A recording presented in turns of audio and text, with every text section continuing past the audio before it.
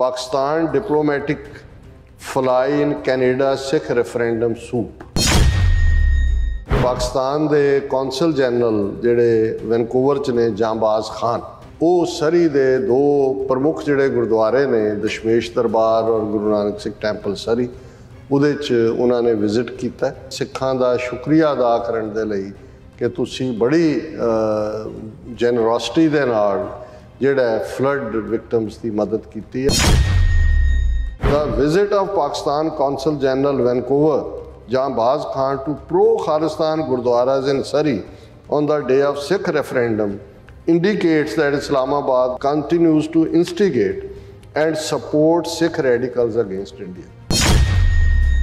ਜਿਹੜੇ ਗੁਰੂ ਨਾਨਕ ਸਿੰਘ ਗੁਰਦੁਆਰਾ 'ਚ ਗਏ ਉੱਥੇ ਤਾਂ ਹਰਦੀਪ ਸਿੰਘ ਨਿੱਜਰ ਜਿਹੜੇ ਪ੍ਰੈਜ਼ੀਡੈਂਟ ਨੇ ਉਹਨਾਂ ਦੇ ਸਿਰ ਤੇ 10 ਲੱਖ ਦਾ ਇਨਾਮ ਰੱਖਿਆ ਹੋਇਆ ਇੰਡੀਆ ਨੇ ਔਰ ਇਹ ਜਿਹੜੇ ਨੇ ਇਸੇ ਤਰ੍ਹਾਂ ਉਹਨਾਂ ਤੇ ਐਨਆਈਏ ਦੇ ਕੇਸ ਨੇ while the Justin Trudeau government has officially communicated to India ਕਿ ਜੀ ਅਸੀਂ ਨਹੀਂ ਕਰਦੇ ਇੱਥੇ ਜਿਹੜੇ ਨੇ ਇਹ ਉੱਥੇ ਜਨਾਬ ਗਏ Jambaz Khan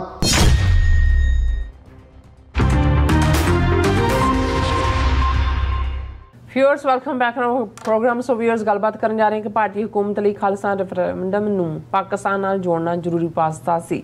ਇਸ ਲਈ ਪਾਕਿਸਤਾਨ ਵਿੱਚ ਆਏ ਹੜ੍ਹਾਂ ਦੌਰਾਨ ਸਿੱਖਾਂ ਵੱਲੋਂ ਦਰਿਆ ਦਿੱਲੀ ਨਾਲ ਕੀਤੀ ਗਈ ਮਦਦ ਲਈ ਧੰਨਵਾਦ ਕਰਨ ਲਈ ਪਾਕਿਸਤਾਨ ਵਿਚਲੇ ਵੈਨਕੂਵਰ ਕੌਂਸਲ ਜਨਰਲ ਸਰੀ ਦੇ ਦੋ ਗੁਰਦੁਆਰਿਆਂ ਵਿੱਚ ਗਏ ਔਰ ਭਾਰਤੀ ਮੀਡੀਆ ਨੇ ਇਸ ਨੂੰ ਖਾਲਸਾ ਰੈਫਰੈਂਡਮ ਨਾਲ ਜੋੜ ਦਿੱਤਾ ਹੈ। ਸੋ, ਇਸ ਬਾਰੇ ਆਪਾਂ ਗੱਲਬਾਤ ਕਰਨ ਜਾ ਰਹੇ ਹਾਂ।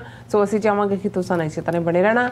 ਦੇਖਣ, ਸੁਣਨ ਲਈ ਐਂਡ ਲਿਖਣ ਲਈ ਤੁਹਾਡਾ ਸਭ ਦਾ ਬਹੁਤ ਬਹੁਤ ਸ਼ੁਕਰੀਆ ਜੀ ਡਾਕਟਰ ਸਾਹਿਬ ਕੀ ਕਹਿਣਾ ਚਾਹੋਗੇ ਦੇਖੋ ਇੱਕ ਬੜੀ ਕਲਾਸੀ ਫਿਲਮ ਕੈਸਾ ਬਲਾਂਕਾ ਦੇ ਨਾਂ ਨਾਲ ਹੈ ਔਰ ਉਹਦਾ ਇੱਕ ਜਿਹੜਾ ਡਾਇਲੌਗ ਹੈ ਖਾਸ ਤੌਰ ਤੇ ਜਿਹੜਾ ਔਰ ਉਸ ਕੈਸਾ ਬਲਾਂਕਾ ਫਿਲਮ ਵਿਚਲੇ ਬਹੁਤ ਸਾਰੇ ਫਰੇਜ਼ ਔਰ ਬਹੁਤ ਸਾਰੇ ਡਾਇਲੌਗ ਉਹ ਲਿਟਰੇਚਰ ਦਾ ਵੀ ਹਿੱਸਾ ਬਣੇ ਕਸਟਮ ਚ ਵੀ ਔਰ ਉਹਨਾਂ ਨੂੰ ਅਜ ਤੱਕ ਵੀ ਕੋਟ ਕੀਤਾ ਜਾਂਦਾ ਹੈ। ਸੋ ਕਿਤੇ ਕੋਈ ਵਾਰਦਾਤ ਹੁੰਦੀ ਹੈ ਤੇ ਜਿਹੋ ਜੀ ਕਰਪਟ ਪੁਲਿਸ ਹੁੰਦੀ ਹੈ ਉਸ ਦੀ ਵੀ ਜਿਹੜੀ ਹੈ ਉਸ ਕਿਸਮ ਦਾ ਹੀ ਹੁੰਦਾ ਹੈ ਜਿਵੇਂ ਸਾਡੇ ਖਿੱਤੇ 'ਚ ਹੁੰਦਾ ਹੈ ਕਿ ਭਾਈ ਕਿਤੇ ਹੋਇਆ ਉਹਨਾਂ ਕੇ ਫੜ ਲਓ 10 ਨੰਬਰੀ ਹੈ ਰਜਿਸਟਰ ਕੱਢੋ 10 ਨੰਬਰੀ ਚੁੱਕ ਕੇ ਲੈ ਔਰ ਉਹਦੇ 'ਚ ਉਹ ਜਿਹੜਾ ਪੁਲਿਸ ਆਫੀਸਰ ਹੈ ਉਹ ਕਿਸੇ ਵਾਕਿਆ ਤੋਂ ਵਾਰਦਾਤ ਤੋਂ ਬਾਅਦ ਕਹਿ ਰਿਹਾ ਕਿ we arrest the usual suspects ਉਹਨਾਂ ਨੂੰ ਕਰੋ ਦੂਜਿਆਂ ਹੁਣ ਸਿਆਸਤ ਦੀ ਦੁਨੀਆ 'ਚ ਜਿਹੜਾ ਜੇ ਅਸੀਂ ਦੇਖੀਏ ਤੇ ਭਾਰਤ ਨੇ ਇਸ ਸਾਰੇ ਪੀਰੀਅਡ 'ਚ ਜਿਵੇਂ ਪਾਕਿਸਤਾਨ ਨੂੰ ਹਰ ਬਿਮਾਰੀ ਦੇ ਲਈ ਆਪਣੀ ਜ਼ਿੰਮੇਵਾਰ ਦੱਸਿਆ, ਹਰ ਮੁਸੀਬਤ ਦੇ ਲਈ, ਹਰ ਜੋ ਵੀ ਉਹਨੂੰ ਫੇਸ ਹੁੰਦਾ ਹੈ, ਪਾਕਿਸਤਾਨ ਆਈਐਸਆਈ ਕਿ ਇਹ ਇੱਕ ਜੋਕ ਰਿਹਾ 80s 90s ਦੇ ਵਿੱਚ ਕਿ ਜੇ ਮੀਂਹ ਨਾ ਪਿਆ ਤੇ ਆਈਐਸਆਈ ਨੇ ਨਹੀਂ ਪਵਾਇਆ ਪੈਣ ਦਿੱਤਾ। ਤੇ ਜੇ ਮੀਂਹ ਪੈ ਗਿਆ ਤੇ ਆਈਐਸਆਈ ਨੇ ਮੀਂਹ ਨੂੰ ਕਹਿ ਕੇ ਪਵਾਇਆ ਉਹਨਾਂ ਤੱਕ ਉਹਨਾਂ ਦੀ ਪਹੁੰਚ ਹੈ। ਤੇ ਉਹ ਸਿਆਣੇ ਬੰਦੇ ਕਹਿੰਦੇ ਸੀ ਵੀ ਜੇ ਵਾਕਈ ਆਈਐਸਆਈ ਇੰਨੀ ਪਾਵਰਫੁਲ ਹੋ ਗਈ ਹੈ ਤੇ ਤੁਸੀਂ ਇੱਥੇ ਬੈਠੇ ਕੀ ਕਰਦੇ ਹੋ? ਤੁਸੀਂ ਵੀ ਜਾ ਕੇ ਉਹਨਾਂ ਨੂੰ ਜੁਆਇਨ ਕਰੋ। ਵੀ ਤੁਹਾਡਾ 6 ਗੁਣਾ ਤੁਸੀਂ ਵੱਡਾ ਮੁਲਕ ਇਨੇ ਤੁਹਾਡੇ ਵੱਡੇ ਬਜਟ ਦੂਜੇ ਤੀਜੇ ਹਰ ਗੱਲ ਤੁਸੀਂ ਉਹਨਾਂ ਦੇ ਨਾਲ ਜੋੜ ਰਹੇ ਹੋ ਕਿ ਜੇ ਉਹਨਾਂ ਨੇ ਕਰਵਾਤਾ ਖਾਲਿਸਤਾਨ ਦੀ ਲਹਿਰ ਆਈਐਸਆਈ ਨੇ ਖੜੀ ਕਰਤੀ। ਕਸ਼ਮੀਰ ਦੇ ਵਿੱਚ ਲੜ ਰਹੇ ਨੇ ਜੀ ਉਹ ਲੜ ਰਹੇ ਨੇ ਫਲਾਣਾ ਹੋ ਗਿਆ ਕਿਤੇ ਵੀ ਆ ਉਹ ਕਰ ਰਹੇ ਨੇ। ਸੋ ਇਹ ਇਹਨਾਂ ਦਾ ਫੇਵਰਿਟ ਪਾਸ ਟਾਈਮ ਹੀ ਨਹੀਂ ਇੱਕ ਐਸਕੇਪਿਜ਼ਮ ਵੀ ਸੀ ਆਪਣੀ ਜ਼ਿੰਮੇਵਾਰੀ ਤੋਂ ਭੱਜਣ ਦਾ ਔਰ ਇੱਕ ਬਹਾਨਾ ਵੀ ਸੀ ਜਿਸ ਦੇ ਨਾਲ ਪਾਕਿਸਤਾਨ ਨੂੰ ਰਿਪੀਟਡਲੀ ਦਹਿਸ਼ਤਗਰਦੀ ਦੇ ਖਾਤੇ 'ਚ ਪਾਣਾ ਔਰ ਤਾਂ ਕਿ ਕੋਈ ਕੱਲ ਨੂੰ ਜੈਨੂਇਨ ਹੈਲਪ ਜਾਂ ਮਦਦ ਵੀ ਨਾ ਆ ਜਾਏ, ਕਿਉਂਕਿ ਮੁਲਕਾਂ ਦੇ ਨਾਤੇ ਪਾਕਿਸਤਾਨ ਸਾਡਾ ਆਪਣਾ ਮੁਲਕ ਹੈ। 174 ਦੇ ਕਰੀਬ ਇਤਿਹਾਸਕ ਗੁਰਦੁਆਰੇ ਨੇ 70000 ਤੋਂ ਜ਼ਿਆਦਾ ਸਿੱਖ ਉੱਥੇ ਵਸਦੇ ਨੇ ਔਰ ਉਸ ਸਾਰੇ ਦੇ ਚੱਲਦੇ ਆ, ਪਾਕਿਸਤਾਨ ਸਿਗਨੇਟਰੀ ਹੈ ਯੂਐਨ ਦੇ ਚਾਰਟਰ ਦਾ, ਪਾਕਿਸਤਾਨ ਸਿਗਨੇਟਰੀ ਹੈ ਯੂਐਨ ਪ੍ਰੋਟੋਕਾਲਸ ਦੇ ਤਹਿਤ ਕਿਤੇ ਵੀ।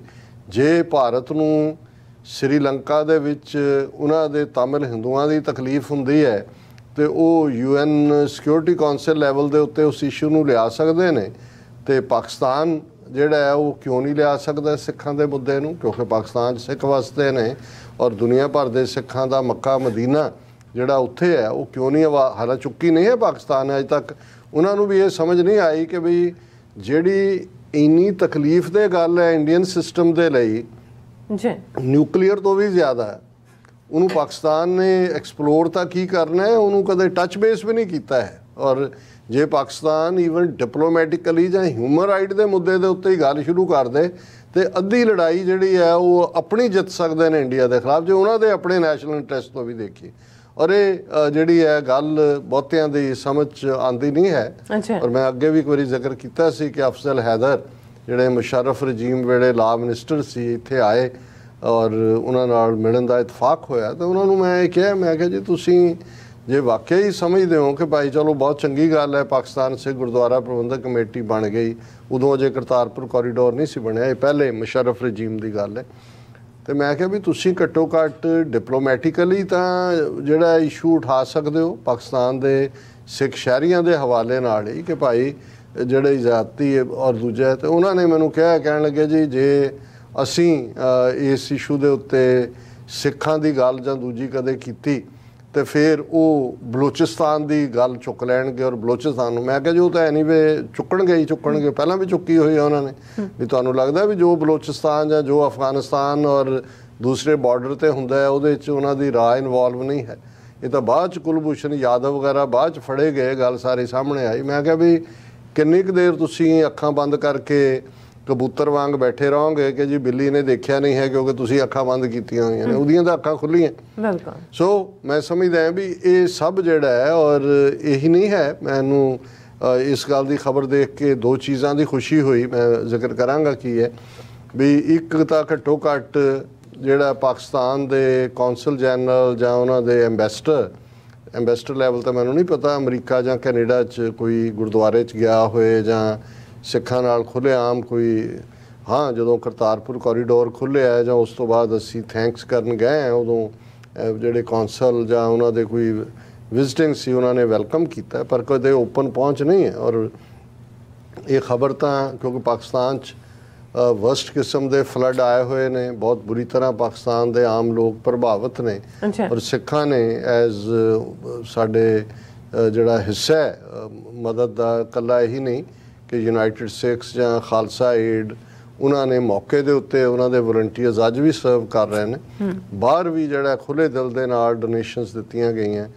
ਨਿਊਜ਼ੀਲੈਂਡ ਦੇ ਵਿੱਚ ਜਿਹੜਾ 1 ਕਰੋੜ ਦੇ ਕਰੀਬ ਜਿਹੜੇ ਰੁਪਏ ਇਕੱਠੇ ਕਰਕੇ ਦਿੱਤੇ ਉਹਨਾਂ ਨੇ ਪਾਕਿਸਤਾਨੀ ਐਸੋਸੀਏਸ਼ਨਸ ਜਿਹੜੀਆਂ ਹੈਲਪ ਕਰਦੀਆਂ ਨੇ। ਔਰ ਮੈਨੂੰ ਸਰੀ ਦੇ ਹਵਾਲੇ ਨਾਲ ਤਾਂ ਪਤਾ ਨਹੀਂ ਸੀ ਕਿ ਭਾਈ ਉੱਥੇ ਕੀ ਮਦਦ ਕਿਉਂਕਿ ਹਰ ਮੁਲਕ ਦੇ ਵਿੱਚ ਆਪੋ ਆਪਣੀ ਤਰੀਕੇ ਨਾਲ ਹੋਈ। ਪਰ ਅੱਜ ਜਦੋਂ ਮੈਂ ਇਹ ਖਬਰ ਹਿੰਦੁਸਤਾਨ ਟਾਈਮਸ ਦੀ ਪ੍ਰੋਮਿਨੈਂਟਲੀ ਦੇਖੀ ਭਾਵੇਂ ਇਹਨਾਂ ਨੇ ਜੇ ਇਹ ਰੈਫਰੈਂਡਮ ਨਾ ਹੋਇਆ ਹੁੰਦਾ ਤੇ ਇਹ ਖਬਰ ਵੀ ਨਹੀਂ ਸੀ ਛਪਣੀ ਸ਼ਾਇਦ ਸਾਨੂੰ ਵੀ ਪਤਾ ਨਾ ਲੱਗਦਾ। ਔਰ Pakistan diplomatic fly in Canada Sikh referendum soup. ਕਿ ਜੀ ਇਹ ਹੁਣ ਡਿਪਲੋਮੈਟਿਕ ਫਲਾਈ ਕੀ ਹੈ? ਕਿ ਪਾਕਿਸਤਾਨ ਦੇ ਕੌਂਸਲ ਜਨਰਲ ਜਿਹੜੇ ਵੈਨਕੂਵਰ ਚ ਨੇ ਜਾਂਬਾਜ਼ ਖਾਨ, ਉਹ ਸਰੀ ਦੇ ਦੋ ਪ੍ਰਮੁੱਖ ਜਿਹੜੇ ਗੁਰਦੁਆਰੇ ਨੇ, ਦਸ਼ਮੇਸ਼ ਦਰਬਾਰ ਔਰ ਗੁਰੂ ਨਾਨਕ ਸਿੰਘ ਟੈਂਪਲ ਸਰੀ, ਉਹਦੇ ਚ ਉਹਨਾਂ ਨੇ ਵਿਜ਼ਿਟ ਕੀਤਾ ਔਰ ਵਿਜ਼ਿਟ ਕੀਤਾ ਸਿੱਖਾਂ ਦਾ ਸ਼ੁਕਰੀਆ ਅਦਾ ਕਰਨ ਦੇ ਲਈ ਕਿ ਤੁਸੀਂ ਬੜੀ ਜੈਨਰੋਸਿਟੀ ਦੇ ਨਾਲ ਜਿਹੜਾ ਫਲੱਡ ਵਿਕਟਮਸ ਦੀ ਮਦਦ ਕੀਤੀ ਹੈ ਔਰ ਮੈਂ ਪਰਸਨਲੀ ਆਇਆ ਤੁਹਾਡਾ ਸ਼ੁਕਰੀਆ ਅਦਾ ਕਰਨ ਦੇ ਲਈ। ਸੋ ਇਹਦੇ 'ਚ ਇੱਕ ਗੱਲ ਜਿਹੜੀ ਚੰਗੀ ਲੱਗੀ ਮੈਨੂੰ ਇਹ ਕਿ ਭਾਈ ਚਲੋ ਘੱਟੋ ਘੱਟ ਇੰਨਾ ਹੌਸਲਾ ਤੇ ਇੰਨਾ ਦਿਖਾਣਾ ਸ਼ੁਰੂ ਕਰ ਦਿੱਤਾ ਇਹਨਾਂ ਨੇ ਕਿ ਭਾਈ ਪਬਲਿਕਲੀ ਆਣ ਚ ਉਹਨਾਂ ਨੂੰ ਹੁਣ ਮੈਂ ਐਕਸਪੀਰੀਅੰਸ ਆਪਣੇ ਦੀ ਗੱਲ ਸ਼ੁਰੂ ਕਰਨ ਲੱਗਾ 1993 ਦੇ ਵਿੱਚ ਵੀ ਪਾਕਿਸਤਾਨ 'ਚ ਬੜੇ ਵਰਸਟ ਕਿਸਮ ਦੇ ਫਲੱਡ ਆਏ ਸੀ। ਉਦੋਂ ਸਾਡਾ Khalistan fair center office Santa Clara ਸੀ ਜਿਹੜਾ ਕੈਲੀਫੋਰਨੀਆ ਦੇ ਵਿੱਚ। ਔਰ ਜ਼ਾਹਰ ਹੈ ਸਾਡੇ ਤੱਕ ਜਦੋਂ ਅਸੀਂ ਦੇਖਿਆ ਔਰ ਅਸੀਂ ਆਪਣੇ ਤੌਰ ਤੇ ਅਜੇ ਇਹ ਕੋਸ਼ਿਸ਼ ਕੀਤੀ ਕਿ ਮਦਦ ਹੋਣੀ ਚਾਹੀਦੀ ਹੈ ਪਰ ਅਸੀਂ ਫਾਈਨੈਂਸ਼ੀਅਲ ਮੈਟਰ 'ਚ ਇਨਵੋਲਵ ਵੀ ਨਹੀਂ ਸੀ ਹੋਣਾ ਚਾਹੁੰਦੇ। ਉਸ ਪੀਰੀਅਡ 'ਚ ਉਹਨਾਂ ਨੇ Pakistan prime minister flood relief fund ਕਾਇਮ ਕੀਤਾ। ਔਰ ਅਸੀਂ ਜਿਹੜੇ ਅਮਰੀਕਾ ਦੇ ਅੱਡ ਅੱਡ ਗੁਰਦੁਆਰੇ ਸੀ ਉਹਨਾਂ ਤੱਕ ਪਹੁੰਚ ਕੀਤੀ। ਔਰ ਮੈਂ ਆਖਿਆ ਕਿ ਭਾਈ ਚਲੋ ਆਪਣੀ ਤੁਸੀਂ ਸਮਰੱਥਾ ਅਨੁਸਾਰ ਘੱਟੋ ਘੱਟ 500 ਡਾਲਰ ਜਿਹੜਾ ਡਾਇਰੈਕਟਲੀ ਜੇ ਇੱਕ ਗੁਰਦੁਆਰਾ ਵੀ ਦੇ ਤੇ ਸਾਈਜ਼ੇਬਲ ਅਮਾਉਂਟ ਹੋ ਜਾਏਗਾ ਜਿੰਨੇ ਗੁਰਦੁਆਰਿਆਂ ਨੂੰ ਅਸੀਂ 30 ਗੁਰਦੁਆਰਿਆਂ ਤੱਕ ਪਹੁੰਚ ਕੀਤੀ। ਔਰ ਮੈਂ 1993 ਦੀ ਗੱਲ ਕਰ ਰਿਹਾ। ਸੋ ਲਗਭਗ 15000 ਡਾਲਰ ਦੇ ਚੈੱਕ ਸਾਡੇ ਤੱਕ Pakistan prime minister flood relief fund ਦੇ ਨਾਂ ਥੱਲੇ ਆਏ। ਹੁਣ ਮਤਲਬ ਜਿਹੜੀ ਮੈਂ ਗੱਲ ਕਰ ਰਿਹਾ ਵੀ ਮੈਂ ਜਦੋਂ ਇਹ ਦੇਖਿਆ ਕਿ ਵੀ ਮਿਸਟਰ ਜਾਂਬਾਜ਼ ਖਾਨ ਜਨਾਬ ਉੱਥੇ ਪਹੁੰਚੇ ਨੇ। ਹੁਣ ਸਾਡੀ ਕੋਸ਼ਿਸ਼ ਸੀ ਕਿ ਵੀ ਚਲੋ ਨਾਲੇ ਤਾਂ ਇੱਕ ਸਾਂਝ ਬਣਦੀ ਹੈ ਨਾਲੇ ਇਹ ਇੱਕ ਡੋਨੇਸ਼ਨ ਮਨੀ ਆਈ ਹੈ ਸਿੱਖਾਂ ਵੱਲੋਂ ਕਿ ਪਾਕਿਸਤਾਨ ਦੇ ਜਿਹੜੀ ਐਮਬੈਸਡਰ ਨੇ ਵਾਸ਼ਿੰਗਟਨ ਡੀਸੀ ਜਦੋਂ ਆਬਿਦਾ ਬੇਗਮ ਸੀ ਕਿ ਵੀ ਉਹ ਕਿਸੇ ਗੁਰਦੁਆਰਾ ਸਾਹਿਬ ਚ ਆ ਕੇ ਜਾਂ ਅਸੀਂ ਕੋਈ ਫੰਕਸ਼ਨ ਹੋਰ ਰੱਖ ਲੈਨੇ ਆ ਤਾਂ ਕਿ ਇੱਕ ਪਬਲਿਕਲੀ ਉਹਨਾਂ ਨੂੰ ਅਸੀਂ ਦੇ ਸਕੀਏ। ਅੱਛਾ। ਲੇਕਿਨ ਇੰਨਾ ਖੌਫ ਸੀ ਜਾਂ ਕੀ ਗੱਲ ਸੀ ਕਿ ਇਹਦੇ ਬਾਵਜੂਦ ਕਿ ਜਿਹੜੇ ਉਹਨਾਂ ਦੇ ਇੱਕ ਅੰਦਰੂਨੀ ਹਲਕੇ ਵੀ ਸੀ ਉਹ ਉਹਦੇ ਚ ਜਿਹੜੇ ਨੇ ਕਾਮਯਾਬ ਨੇ ਉਹਨਾਂ ਨੇ ਕਿਹਾ ਜੀ ਇਹ ਇੱਕ ਐਮਬੈਰਸਮੈਂਟ ਹੋਏਗੀ ਇੱਕ ਫਲਾਣਾ ਹੋਏਗਾ ਢਿਮਕਾ ਹੋਏਗਾ। ਸੋ ਮੁੱਕਦੀ ਗੱਲ ਅਸੀਂ ਫਿਰ ਜਿਹੜੇ ਇੱਕ ਹੋਰ ਸਾਡੇ ਮਿੱਤਰ ਵੀ ਸੀ ਵਾਸ਼ਿੰਗਟਨ ਡੀਸੀ ਚ ਪਾਕਿਸਤਾਨੀ ਸੁਪਰੀਮ ਕੋਰਟ ਦੇ ਲਾਇਰ ਵੀ ਸੀ ਔਰ ਉਹ ਆਬਦਾ ਬੇਗਮ ਦੇ ਨਾਲ ਵੀ ਉਹਨਾਂ ਦਾ ਜਿਹੜਾ ਉਹ ਚੰਗਾ ਸਹਿਚਾਰ ਸੀ। ਉਹਨਾਂ ਨੂੰ ਇਹ ਕਿਹਾ ਅਸੀਂ ਕਿਹਾ ਜੀ ਹੱਦ ਹੋ ਗਈ। ਇੱਕ ਪਾਸੇ ਲੋਕ ਪੈਸੇ ਮੰਗਦੇ ਫਿਰਦੇ ਨੇ ਅਸੀਂ ਮੰਗ ਕੇ ਇਕੱਠੇ ਕੀਤੇ ਨੇ ਤੁਸੀਂ ਲੈਣ ਨੂੰ ਵੀ ਤਿਆਰ ਨਹੀਂ। ਉਹਨਾਂ- ਨੂੰ ਇਹ ਗੱਲ ਲੱਗੀ ਉਹਨਾਂ ਨੇ ਇੱਕ ਛੋਟਾ ਜਿਹਾ ਜਿਹੜਾ ਉਹ- ਉਹਨਾਂ ਨੇ ਕਿਹਾ ਜੀ ਫਿਰ ਇਸ ਤਰ੍ਹਾਂ ਤੁਸੀਂ ਆ ਜਾਓ ਇੱਕ ਛੋਟਾ ਡੈਲੀਗੇਸ਼ਨ ਲੈ ਆਓ ਤਿੰਨ ਚਾਰ ਜਿਹੜੇ ਨੇ ਤੇ ਉਹਨਾਂ ਦੇ ਰੈਜ਼ੀਡੈਂਸ ਸੀ ਉਹਨਾਂ ਨੂੰ ਮਿਲ ਲੈਣੇ ਤੇ ਉਹਨਾਂ ਨੂੰ ਤੁਸੀਂ ਦੇ ਦਿਓ ਔਰ ਚਲੋ ਇਵੇਂ ਹੀ ਅਸੀਂ ਕੀਤਾ ਤਿੰਨ ਚਾਰ ਗਏ। Over a cup of tea ਅਸੀਂ ਉਹਨਾਂ ਨੂੰ ਦਿੱਤਾ ਹਾਂ। ਜਿਹੜੇ ਅਲਫਾਜ਼ ਉਹਨਾਂ ਨੇ ਕਹੇ ਉਹ ਚੀਅਰ ਅਪ ਕਰਨ ਉਹਨਾਂ ਨੇ ਕਿਹਾ ਜੀ ਇੰਨੇ ਪੈਸੇ ਤਾਂ ਸਾਨੂੰ ਇੱਥੇ ਬੈਠੀ ਪਾਕਿਸਤਾਨੀ ਕਮਿਊਨਿਟੀ ਨੇ ਨਹੀਂ ਦਿੱਤੇ ਇਕੱਠੇ ਕਰਕੇ। ਔਰ ਕੱਲਾ ਇਹ ਨਹੀਂ ਸੀ ਅਮਰੀਕਾ 'ਚ ਕੈਨੇਡਾ 'ਚ ਵੀ ਐਫਰਟ ਹੋਇਆ ਕੈਨੇਡਾ ਦੇ ਗੁਰਦੁਆਰਿਆਂ ਨੇ ਰਾਦਰ ਬਿਗਰ ਅਮਾਉਂਟ ਕਿਉਂਕਿ ਅਮਰੀਕਾ ਜਦੋਂ ਅਜੇ ਸ਼ੁਰੂਆਤੀ ਦੌਰ ਸੀ। ਸੋ ਇਹ ਪਾਰਟ ਮੈਂ ਇਹ ਦੱਸਣਾ ਚਾਹੁੰਦਾ ਕਿ ਵੀ ਇੱਕ ਪਾਸੇ ਜਿਹੜੀ ਇੰਡੀਆ ਦੀ ਇਨਵੋਲਵਮੈਂਟ ਵਿਦਨ ਪਾਕਿਸਤਾਨੀ ਅਫੇਅਰਸ ਕਿਸ ਲੈਵਲ ਤੇ ਰਹੀ ਵੀ ਉਹਨਾਂ ਨੇ ਤਾਂ ਮੁਲਕ ਤੋੜ ਕੇ ਰੱਖਤਾ ਹੈ। ਮਸ਼ਰਕੀ ਪਾਕਿਸਤਾਨ ਨੂੰ ਬੰਗਲਾਦੇਸ਼ ਬਣਾ ਦਿੱਤਾ ਹੈ। ਔਰ ਹਿਊਮੈਨਿਟੇਰੀਅਨ ਇਸ਼ੂਜ਼ ਦੇ ਉੱਤੇ ਵੀ ਇਹ ਹੁਣ ਕਿੱਥੋਂ ਡਿਪਲੋਮੈਟ ਐਡਾ ਕੀ ਖੌਫ ਰਿਹਾ ਸਿਰ ਦੇ ਉੱਤੇ ਮੰਡਰਾਉਂਦਾ ਹੁਣ ਵੀ ਹੈ ਉਹ ਚੋਂ ਨਿਕਲੇ ਨਹੀਂ ਹੋਏ। ਚਲੋ ਇਹ ਪਰ ਇਹ ਖਬਰ ਜਿਸ ਹਵਾਲੇ ਨਾਲ ਮੈਂ ਦੱਸਣਾ ਚਾਹੁੰਦਾ ਕਿ ਇਹ ਘੱਟੋ ਘੱਟ ਜਾਂਬਾਜ਼ ਖਾਨ ਜਿਹੜੇ ਨੇ ਉਹ ਉਹਨਾਂ ਨੇ ਵਿਜ਼ਿਟ ਕੀਤਾ ਔਰ ਉਹਦੇ ਚ ਉਹਨਾਂ ਨੇ ਸਿੱਖਾਂ ਦਾ ਸ਼ੁਕਰੀਆ ਅਦਾ ਕੀਤਾ ਕਿ ਭਾਈ ਤੁਸੀਂ ਜਿਹੜੀ ਹੈ ਮੁਸੀਬਤ ਦੇ ਵੇਲੇ ਤੁਸੀਂ ਸਾਡੇ ਭਰਾ ਹੋ ਔਰ ਸਾਡੇ ਨਾਲ ਖਲੋਤੇ ਹੋ ਆ ਕੇ। ਹੁਣ ਇਸ ਨੂੰ ਭਾਰਤ ਹਿੰਦੁਸਤਾਨ ਟਾਈਮਜ਼ ਏਐਨਆਈ ਵਾਂਗ ਜਦੋਂ ਉਹਨਾਂ ਨੇ ਰਾਹ ਨੇ ਕੋਈ ਖਬਰ ਪਲਾਂਟ ਕਰਨੀ ਹੁੰਦੀ ਹੈ ਤਾਂ ਇਲੈਕਟ੍ਰੋਨਿਕ ਮੀਡੀਆ 'ਚ ਔਰ ਦੂਜੇ ਉਹਦੇ 'ਚ ਵਿਜ਼ੂਅਲ ਮੀਡੀਆ ਏਐਨਆਈ ਹੁੰਦਾ ਹੈ। ਪ੍ਰਿੰਟ ਮੀਡੀਆ ਹਿੰਦੁਸਤਾਨ ਟਾਈਮ 'ਚ ਪਹਿਲਾਂ ਉਹਨਾਂ ਦੀ ਖਬਰ ਹੁੰਦੀ। ਉਹਨਾਂ Pak diplomatic fly in Canada's referendum soup. The visit of Pakistan Consul General Vancouver, Jambaz Khan, to pro Kharistan Gurdwaras in Surrey on the day of Sikh referendum indicates that Islamabad continues to investigate, co- continues to instigate, and support Sikh radicals against India. ਹੁਣ ਪਹਿਲੀ ਗੱਲ ਤੇ ਉਹ ਉਸੇ ਹੀ ਗੁਰਦੁਆਰੇ 'ਚ ਜਾਏਗਾ ਜਿੱਥੋਂ ਸਪੋਰਟ ਆਈ ਹੈ ਤੁਸੀਂ ਅਮਰੀਕਾ ਕੈਨੇਡਾ 'ਚ ਉਹ ਗੁਰਦੁਆਰੇ ਲੱਭ ਲਓ ਜਿਹੜੇ ਖਾਲਿਸਤਾਨ ਦੇ ਹਮਾਇਤੀ ਨਹੀਂ ਨੇ। ਸੋ ਇਹਦਾ ਮਤਲਬ ਹੈ ਵੀ ਹਮਾਇਤੀ ਨੇ। ਜਿਹੜੇ ਤੁਹਾਡੇ ਕੋਈ ਟੁੱਚੇ ਖੜੇ ਵੀ ਕੀਤੇ ਹੋਣਗੇ ਉਹ ਤਾਂ ਉੱਥੋਂ ਪੈਸੇ ਕੱਢ ਕੇ ਤੁਹਾਡੇ ਤੋਂ ਪੈਸੇ ਲੈ ਰਹੇ ਹੋਣੇ ਨੇ ਉਹਨਾਂ ਨੇ ਕਿਸੇ ਫਲੱਡ ਰਿਲੀਫ ਜਾਂ ਦੂਜੇ ਨੂੰ ਤਾਂ ਦੇਣੇ ਨਹੀਂ। ਸੋ ਐਤਵਾਰ ਦਾ ਦਿਨ ਹੈ। ਜੇ ਐਤਵਾਰ ਦਾ ਦਿਨ ਹੀ ਇਸ ਵੇਲੇ ਚੱਲ ਰਿਹਾ ਉਹਨਾਂ ਨੇ ਚੁਣਿਆ ਕਿ ਭਾਈ ਉਹਨਾਂ ਨੇ ਥੈਂਕ ਯੂ ਕਰਨ ਜਾਣਾ ਹੈ ਤੇ that happen to be the day ਜਦੋਂ ਰੈਫਰੈਂਡਮ ਚੱਲ ਰਿਹਾ ਸੀ। ਇੱਕ ਕੋਇਨਸੀਡੈਂਸ ਤਾਂ ਹੋ ਸਕਦਾ ਹੈ ਕਿ ਭਾਈ ਇੱਕੋ ਵੇਲੇ ਹੈ ਪਰ ਹੁਣ ਇਹਨੂੰ ਤੁਸੀਂ ਇਹ ਕਹੋ ਕਿ ਜੀ ਇਹ ਜਿਹੜੀ ਹੈ ਡਿਪਲੋਮੈਟਿਕ ਫਲਾਈ ਵੜ ਗਈ ਸਿੱਖ ਰੈਫਰੈਂਡਮ ਦੇ ਸੂਪ 'ਚ। ਔਰ ਇਹ ਇਹਦੇ ਤੇ ਫਿਰ ਉਹਨੇ ਪੂਰਾ ਕਿਹਾ ਕਿ ਜੀ ਇਹ ਜਦੋਂ ਰੈਫਰੈਂਡਮ ਚੱਲ ਰਿਹਾ ਸੀ ਜਾਂਬਾਜ਼ ਖਾਨ ਉਹਨਾਂ ਗੁਰਦੁਆਰਿਆਂ 'ਚ ਗਿਆ ਫਿਰ ਕੱਲੇ ਗੁਰਦੁਆਰਿਆਂ ਦੇ ਨਾਲ ਹੀ ਨਹੀਂ ਉਹਨਾਂ ਨੇ ਇਹ ਕਿਹਾ ਕਿ ਵੀ ਦਸ਼ਮੇਸ਼ ਦਰਬਾਰ ਗੁਰੂ ਨਾਨਕ ਸਿੰਘ ਗੁਰਦੁਆਰਾ ਸ- 18 ਸਤੰਬਰ ਨੂੰ ਫਿਰ ਉਹਨਾਂ ਨੇ ਕਿਹਾ ਜੀ ਜਿਹੜੇ ਗੁਰੂ ਨਾਨਕ ਸਿੰਘ ਗੁਰਦੁਆਰਾ 'ਚ ਗਏ ਉੱਥੇ ਤਾਂ ਹਰਦੀਪ ਸਿੰਘ ਨਿੱਜਰ ਜਿਹੜੇ ਪ੍ਰੈਜ਼ੀਡੈਂਟ ਨੇ ਉਹਨਾਂ ਦੇ ਸਿਰ ਤੇ 10 ਲੱਖ ਦਾ ਇਨਾਮ ਰੱਖਿਆ ਹੋਇਆ ਇੰਡੀਆ ਨੇ। ਔਰ ਇਹ ਜਿਹੜੇ ਨੇ ਇਸੇ ਤਰ੍ਹਾਂ ਉਹਨਾਂ ਤੇ ਐਨਆਈਏ ਦੇ ਕੇਸ ਨੇ। ਸੋ ਇਹ ਹੁਣ ਪ੍ਰਧਾਨ ਤਾਂ ਗੁਰਦੁਆਰਾ ਨਹੀਂ ਹੁੰਦਾ ਗੁਰਦੁਆਰਾ ਤਾਂ ਸੰਗਤ ਹੈ। ਮੈਨੇਜਮੈਂਟ ਐਜ਼ਾਰ ਹੈ ਜੇ ਐਸਾ ਕੁਝ ਹੈ ਤੁਹਾਡੇ ਕਹਿਣ ਮੁਤਾਬਕ ਤੇ ਫਿਰ ਐਕਸਟ੍ਰੈਡੀਸ਼ਨ ਫਾਈਲ ਕਰੋ ਦਿਓ ਸਬੂਤ ਕੈਨੇਡਾ ਦੇ ਕੋਰਟ 'ਚ। ਜੇ ਤੁਸੀਂ ਝੂਠਾ ਜਿਹਨੂੰ ਮਰਜ਼ੀ ਕਹੋ ਅਸੀਂ ਮੋਦੀ ਦੇ ਸਿਰ ਤੇ ਨਾਮ ਰੱਖਿਆ ਹੋਇਆ ਹੈ ਕਿ ਭਾਈ ਨੇ ਜੋ ਗੁਜਰਾਤ 'ਚ ਕੀਤਾ ਹੈ, ਉਸ ਦੇ ਲਈ ਇਹਨੂੰ ਇੰਟਰਨੈਸ਼ਨਲ ਕ੍ਰਿਮੀਨਲ ਕੋਰਟ 'ਚ ਘੜੀਸਿਆ ਜਾਣਾ ਚਾਹੀਦਾ। ਇਹਨੂੰ ਇਹਨਾਂ ਨੇ ਨਾ ਘੜੀਸਿਆ ਅਸੀਂ ਖਾਲਿਸਤਾਨ ਦੀ ਕੋਰਟ 'ਚ ਤੇ ਚਲਾਵਾਂਗੇ ਮੁਕੱਦਮਾ। ਮੋਦੀ ਤੇ ਵੀ ਅਮਿਤ ਸ਼ਾਹ ਤੇ ਵੀ। ਹੁਣ ਜਿਹੜਾ ਉਹਦੇ ਨਾਲ ਉਹਨੇ ਜੋੜ ਕੇ ਕਿਹਾ ਕਿ ਭਾਈ while the Justin Trudeau government has officially communicated to India ਕਿ ਜੀ ਅਸੀਂ ਨਹੀਂ ਕਰਦੇ ਇੱਥੇ ਜਿਹੜੇ ਨੇ ਇਹ ਉੱਥੇ ਇਹ ਜਨਾਬ ਗਏ ਜਾਂਬਾਜ਼ ਖਾਨ ਔਰ ਇਸ ਤੋਂ ਇਹ ਹੁੰਦਾ ਹੈ ਕਿ ਭਾਈ ਇਹ ਜਿਹੜਾ ਹੈ ਪਾਕਿਸਤਾਨ ਖਬਰ ਦੇ ਵਿੱਚ ਕੁਝ ਨਹੀਂ ਹੈ ਵੀ ਇਹ ਡਿਪਲੋਮੈਟਿਕਲੀ ਕਿਹੜੀ ਉਲੰਘਣਾ ਕੀਤੀ ਹੈ ਉਹਨਾਂ ਨੇ ਔਰ ਜਿਹੜੀ ਉਹਨਾਂ ਦੀ ਜਾਂਬਾਜ਼ ਖਾਨ ਜਿਹੜੇ ਨੇ ਉਹਨਾਂ ਨੇ ਉੱਥੇ ਆ ਕੇ ਇਹੀ ਕਿਹਾ ਕਿ ਭਾਈ ਮੈਂ ਆਇਆ ਤੁਹਾਡਾ ਸਭ ਦਾ ਸ਼ੁਕਰੀਆ ਅਦਾ ਕਰਨ ਤੁਸੀਂ ਮੁਸੀਬਤ ਦੀ ਘੜੀ 'ਚ ਸਾਡੇ ਨਾਲ ਖਲੋਤੇ ਹੋ। ਸੋ ਮੈਂ ਸਮਝਦਾ ਹਾਂ ਵੀ ਜਿਹੜੀ ਚੀਜ਼ ਤਕਲੀਫ ਦਿੰਦੀ ਹੈ ਦੁਸ਼ਮਣ ਨੂੰ ਜੀ ਔਰ ਇਵਨ ਹਿਊਮੈਨਿਟੇਰੀਅਨ ਸਾਂਝ ਹੁਣ ਗੱਲ ਕੱਲੀ ਇਹ ਨਹੀਂ ਹੈ ਤੁਸੀਂ ਤਕਲੀਫ ਤਾਂ ਦੇਖੋ ਪਿਛਲੇ ਕੱਲ ਗੁਰੂ ਨਾਨਕ ਸਾਹਿਬ ਦਾ ਜੋਤੀ ਜੋਤ ਸਮਾਨ ਦਾ ਗੁਰਪੁਰਬ ਸੀ। ਮਦੀਨਾ ਕਿਉਂਕਿ ਇਹ ਉਹੀ ਥਾਂ ਹੈ ਕਰਤਾਰਪੁਰ ਸਾਹਿਬ ਦੀ ਜਿੱਥੇ ਗੁਰੂ ਨਾਨਕ ਸਾਹਿਬ ਨੇ ਇਸ ਧਰਤੀ ਨੂੰ ਅਲਵਿਦਾ ਕਹੀ ਔਰ ਉੱਥੇ ਬਿਰਾਜਮਾਨ ਜਿਹੜੇ ਨੇ ਭਾਈ ਲਹਿਣਾ ਜੀ ਨੂੰ ਗੁਰਗੱਦੀ ਦਿੱਤੀ। ਜੀ 103 ਸਿੱਖਾਂ ਦੇ ਜਥੇ ਨੂੰ ਸਿਰਫ ਅਲਾਉ ਕੀਤਾ ਗਿਆ ਇੰਡੀਆ ਤੋਂ ਪਾਕਿਸਤਾਨ ਆਣ ਦੇਖ ਲਓ।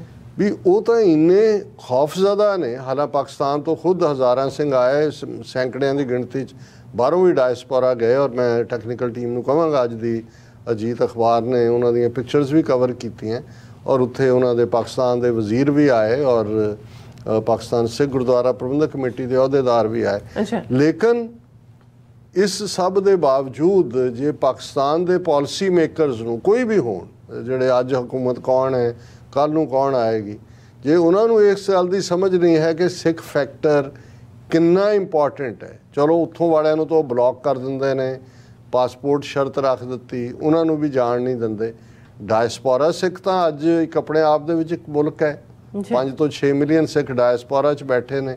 ਉਹਨਾਂ ਨਾਲ ਇੰਟਰੈਕਟ ਕਰਨ 'ਚ ਤੁਹਾਨੂੰ ਕੀ ਜਿਹੜੀ ਹੈ ਉਹ ਦਿੱਕਤ ਆਉਂਦੀ ਹੈ? ਤੁਸੀਂ ਮਜ਼ਹਬੀ ਮੁੱਦੇ ਤੇ ਕਰੋ ਹਿਊਮੈਨਿਟੇਰੀਅਨ ਤੇ ਕਰੋ ਹੈਰੀਟੇਜ ਦੇ ਮੁੱਦੇ ਤੇ ਕਰੋ ਔਰ ਖੁੱਲ੍ਹ ਕੇ ਕਰੋ। ਇਹ ਜਿਹੜਾ ਘੁੰਡ ਕੱਢ ਕੇ ਕੱਢਣ ਵਾਲੀ ਗੱਲ ਹੈ ਨਾ, ਔਰ ਵਾਈ ਨਾਟ ਕਿ ਤੁਸੀਂ ਯੂਐਨ ਸਿਕਿਉਰਿਟੀ ਕਾਉਂਸਲ ਔਰ ਯੂਐਨ ਜਨਰਲ ਅਸੈਂਬਲੀ 'ਚ ਵੀ ਜਿਹੜਾ ਮਾਈਨੋਰਟੀਜ਼ ਦੇ ਇਸ਼ੂ ਨੂੰ ਚੁੱਕੋ। ਤੁਹਾਡੇ ਮੁਲਕ 'ਚ ਵੀ ਸਿੱਖ ਰਹਿੰਦੇ ਨੇ, ਕਸ਼ਮੀਰੀਆਂ ਦੇ ਮੁੱਦੇ ਨੇ, ਉਹਨਾਂ ਦੇ ਨਾਲ ਤੁਸੀਂ ਜੋੜ ਕੇ ਦੇਖ ਸਕਦੇ ਹੋ। ਸੋ ਮੈਂ ਇਹ ਦੇਖ ਰਿਹਾ ਕਿ ਭਾਈ ਇਸ ਭਾਰਤੀ ਹਕੂਮਤ ਨੂੰ ਜਿਵੇਂ ਉਹ ਚਾਹੀਦਾ ਸੀ ਕਿ ਭਾਈ ਵਿਪਿੰਗ ਬॉय ਉਹ ਉਹਨਾਂ ਨੇ ਲੱਭ ਲਿਆ ਕਿ ਜੀ ਆ ਦੇਖ ਲਓ ਜੀ ਉਧਰ ਰੈਫਰੈਂਡਮ ਹੋ ਰਿਹਾ ਉਧਰ ਪਾਕਿਸਤਾਨ ਦੇ ਕੌਂਸਲ ਜਨਰਲ ਨੇ। ਸੋ ਇਹਦਾ ਮਤਲਬ ਹੈ ਕਿ ਆਈਐਸਆਈ ਇਨਸਟੀਗੇਟ ਕਰ ਰਹੀ ਹੈ। ਸੋ ਚਲੋ। ਉਹਨਾਂ ਨੇ ਵੀ ਆਪਣੀ ਤੋਰੀ ਫੁਲਕਾ ਬਿਲਕੁਲ। ਉਹ ਆਪਣਾ ਤੋਰ ਰਹੇ ਨੇ ਭਾਈ ਤੋਰੀ ਜਾਓ। ਜੀ ਡਾਕਟਰ ਸਾਹਿਬ ਤੁਹਾਡਾ ਬਹੁਤ ਬਹੁਤ ਸ਼ੁਕਰੀਆ। ਸੋ ਅਥਰੇ ਨੇ ਬ੍ਰੇਕ ਫਿਊਅਰਸ ਤੁਸੀਂ ਨਾ ਇਸੇ ਤਰ੍ਹਾਂ ਹੀ ਬਣੇ ਰਹਿਣਾ। ਮਿਲਦੇ ਆਫਟਰ ਦਿਸ ਸ਼ਾਰਟ ਬ੍ਰੇਕ